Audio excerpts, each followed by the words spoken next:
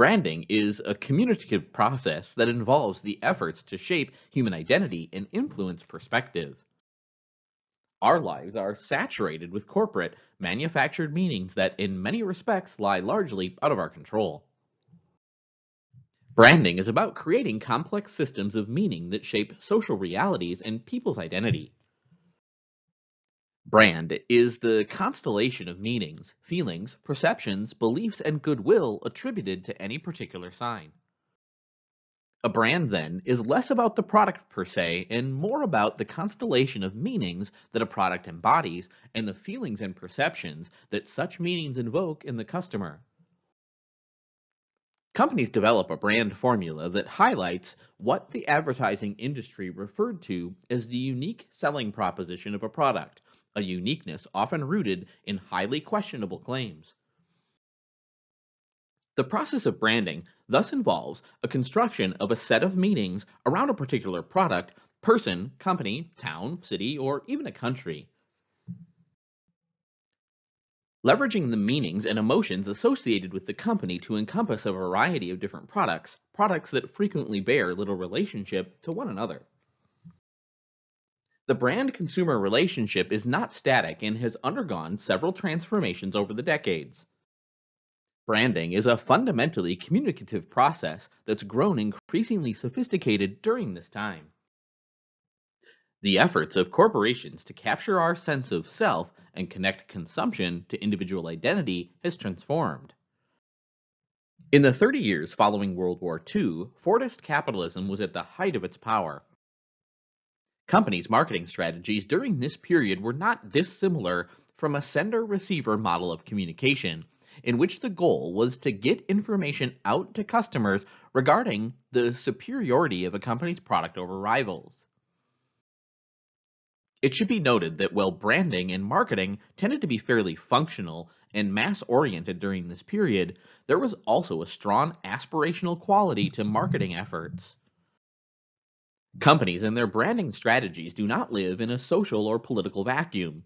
And what was going on socially and politically in the 1960s and 70s had a significant impact on the ways that companies marketed their brands to customers. In this area of niche marketing, we see how branding strategies respond to the changing cultural and political environment. A shift to consumer engagement is a direct consequence of the emergence of neoliberalism and the recognition that we are now firmly in a period that we might call communicative capitalism. We have therefore moved to the point where brands function as institutions. Talking about employees rather than customers in brand context is a little complicated.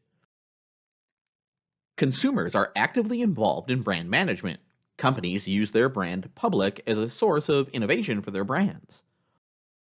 In other words, brands put consumers to work, resulting in a process of value co-creation between producers and consumers. Moreover, company employees are consumers of their company's brand, in that, at least ideally, they must internalize the brand to live it. So how might we think about the relationships among work, branding, and the entrepreneurial self? First, we can say that the brand changes the relationship between the individual and society. There's an important sense, then, in which the entrepreneurial self is a central figure in the new area of branding. The enterprise self is, by definition, a branded self. It's important to draw attention to the degree to which employees have become an essential part of the corporate branding process. Branding is a form of organizational communication that extends beyond the employment relationship itself. Brands draw on our everyday lives, and workers and consumers draw on brands as a way of articulating their identity. Branding has been with us for 150 years, and there's little doubt that it will continue to define our relationships to organizations and corporations.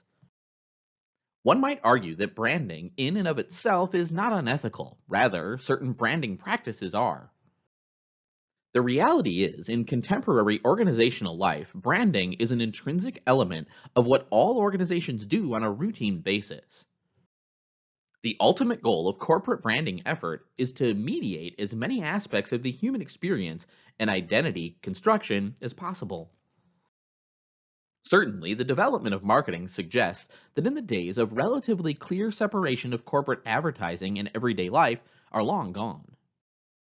We live in an environment that is completely saturated with mediated, branded meaning. It's almost as though nothing is meaningful until it's framed for us by a corporate sponsor. As such, corporations and the meaning systems they create and play a disproportionately large role in defining who we are as people.